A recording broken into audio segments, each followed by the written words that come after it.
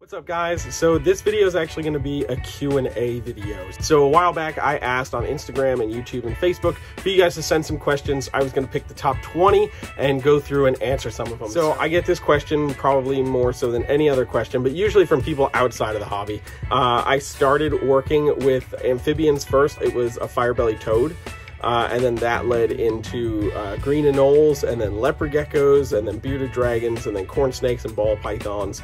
And uh, over the years, I've worked with close to about a hundred species of reptiles, like this Chahoua gecko here.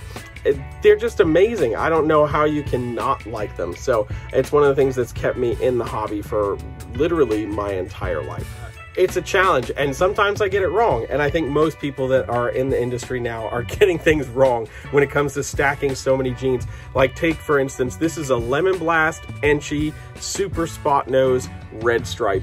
And there are some subtle cues in this that tell me all that, but uh, I wouldn't be shocked if I got something wrong. And who knows, maybe there's an extra gene that I'm not seeing in this. You just never know. And Ozzy at Ozzy Boyd's coined the term theoretical ID, and that's literally just basing it off of what we can see and what we know is in the pairing. And the only way to really know for sure is to breed it. So one of the other things that was a huge help for me was actually growing up just a couple hours away from New England Reptile Distributors. Kevin's been a longtime friend, and from a really young age, I was able to go there and ask him questions and really learn and understand like minor nuances between morphs and figure out what set certain things apart. Uh, so luckily, because of that, I've just been surrounded by a lot of really cool animals uh, really early on in my keeping career. So that helped kind of catapult me to be able to confidently ID some of these ridiculous ball pythons that we see these days. Okay, so this is going to become a two-parter here. One of my favorite species to work with right now is obviously the Amazon tree boa. If you've been following me for any length of time, I've posted a lot of Amazon tree boa content, uh, especially animals like my guy Carnage, uh, who's in shed right now, and my boy King, who is also in shed right now. Otherwise, I'd have them out. But these guys are incredibly misunderstood, and definitely are a bite first, ask questions later kind of species, which I kind of enjoy, um, but also they're incredibly misunderstood. And once you understand their body language, you really figure out how to work with them effectively. The answer really is no. Outside of the natural ambient temp shifts that have happened here in North Carolina, I have not done anything different uh, with maintaining them throughout the season. Um, I do do food cycling, so uh, when I get ready to breed them, I give them a little bit more food, a little bit more frequently. Outside of that, I don't do anything special for these guys. I don't drop temps, I don't do anything like that. And I've had multiple females just kind of start cycling on their own. But I'm gonna get this girl back before she actually does nail me. This is another one of my younger girls. This is actually a captive bred female from my buddy Brandon. Uh, and she is full of gusto and definitely wants to grab me here.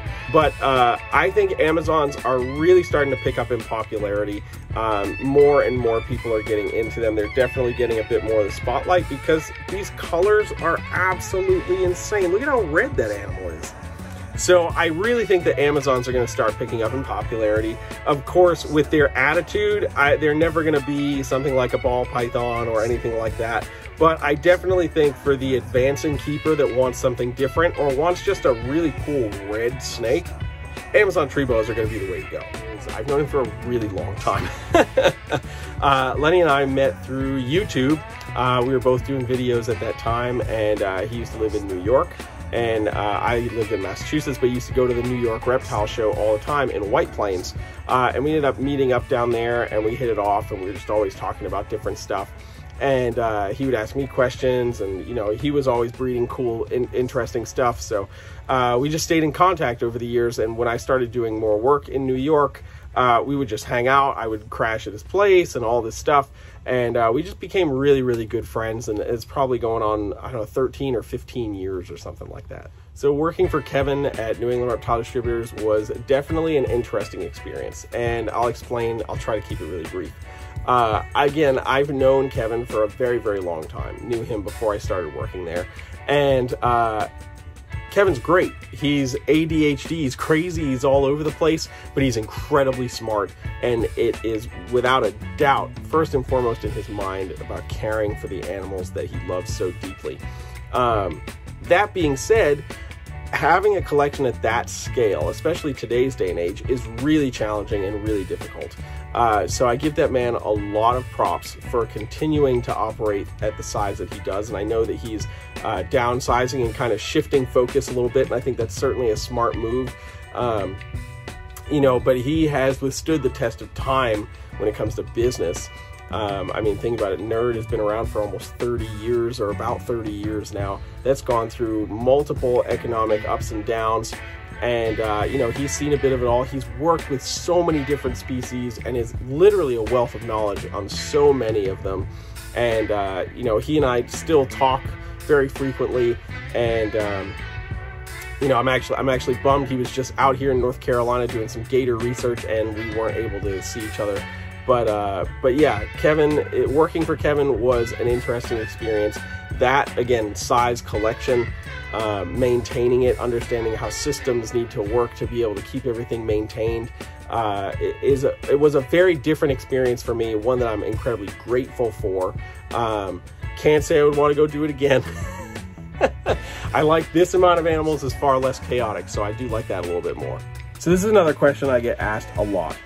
Basically, I just talked to him. I just started to network with them and, and ask them questions. These are the things that were really important to me growing up because we didn't have Morph Market, we didn't have Facebook. You know, uh, it was really like a lot of word of mouth kind of stuff. You know, reptiles were not big on social media or anything like that. So it was, oh, I know this person who likes reptiles. They know this person. They're going to put me in contact with them, and then we go from there. Or I had to reach out myself or go to a reptile show and see them myself. Um, so that was really the foundation of it. I will say it was uh, helpful to have met Brian and Kevin so early in my keeping career uh, and create that foundation and friendship. That helped put me in that same bracket uh, of people and kind of knowing people. They recognize me from videos or, or uh, you know, oh yeah, yeah, so and so told me about you kind of deal. Um, and then, of course, working at Nerd uh, provided a lot of opportunities to connect with people uh, that I probably could have gotten on my own, but uh, the, the help of Nerd kind of boosting me uh, was certainly an aid in all of that. You know, being able to, to say, like, hey, I'm so and so, oh, yeah, yeah, you work for Kevin, I, I know who you are. And then the door just kind of be open from there for conversations and communication. Uh, that was a big help for sure. But after that, it still was about maintaining that networking connection and establishing some sort of connection with those people. Uh, I certainly recommend everybody try to do that. And uh, you know, you never know. You you might you know spark a friendship uh, with somebody that's been doing it for longer than you've been alive. And uh, you know, a lot of those guys have forgotten more than we'll ever know. So to be able to have some of those people that I can just pick up the phone and call is uh, I'm I'm just incredibly grateful. So the short answer is I have about 15 or 16 different species that I currently work with, um, from the Amazons to retics and burms and ball pythons, a myriad of different colubrids, um, obviously jungle carpets and Bredl's pythons. I have a pair of coastals here as well, Macklots pythons, the list kind of goes on. Uh, the most I've ever kept at one time when I was younger, still living in Massachusetts, my room was packed wall to wall with animals, and uh, I kept a lot of amphibians and stuff back then. So at my peak, I probably was keeping around 30 to 35 different species at one time, uh, but a lot of those were amphibian species uh, and smaller amphibian species. So it was a lot easier to maintain stuff like that in those numbers. My biggest season, honestly, I probably had about I want to say maybe 30 clutches or so, which doesn't sound like a lot, especially if you look at like ball python guys that are producing, you know, 100, 150 clutches. Uh, but the thing to remember is I don't just breed ball pythons. So uh, that was a mix of ball pythons, carpet pythons. Um, I think that year also I had a retic clutch, um, as well as a couple colubrid clutches. So there was a there was probably a few hundred snakes out of those 30 clutches just because some of those snakes were laying 20 to 30 eggs at a time versus 5 to 8 eggs out of a ball python. So most of you who know me also know that carpet pythons are a big part of what I keep these days as well. This is a possible super caramel albino that I produced uh, three years ago. But uh, anyway, I think when it comes to carpets, um, there's two parts to it, right? Morphs and lineage are both equally important. Um, I think there are definitely people who are, you know, more into the morph game don't necessarily care too much about lineage. They want to make uh, just the coolest combo. Obviously, this is an intergrade here of the uh, Caramel Coastal, and then Albino comes from Darwin. Um, but I really think at the end of the day, lineage is one of the most important things, especially when the only carpet pythons we can get into the U.S. Uh, that are wild caught or uh, farm raised are uh, the West Papuans.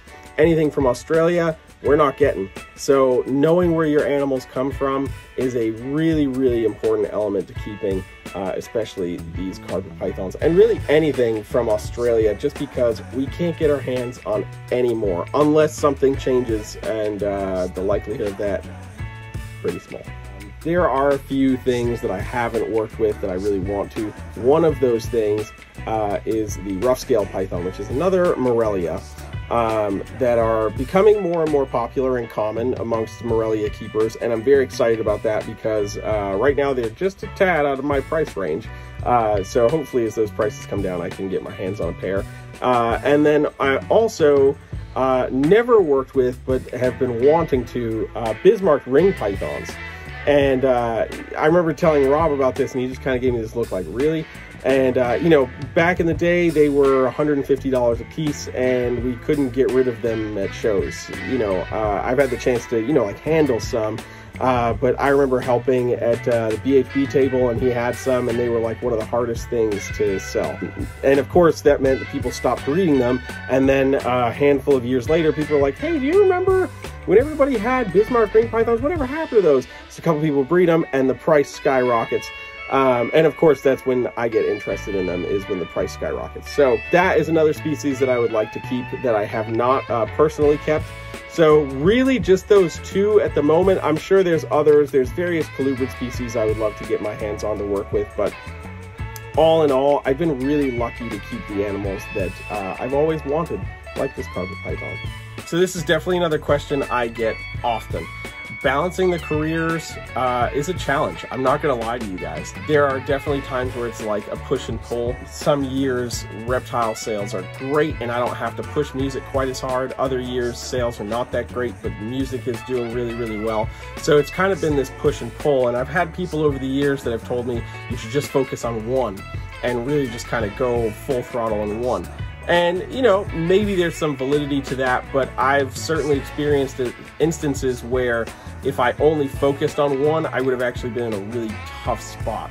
But I've been really lucky for a long time to be able to do what I love and pay my bills and uh, and do that. So I don't necessarily want to take the step back, right? So having the two has been really, really helpful. That being said, the instance that I'm in currently is, you know, sales slowly started to die down at the end of 2022. Pretty much everybody's experienced that. At the same point in time where music really started to push ahead for me. I got connected to some really great bands that are constantly working and have been really pushing doing remote studio session work and being able to record for people uh, from home, which is super nice and convenient.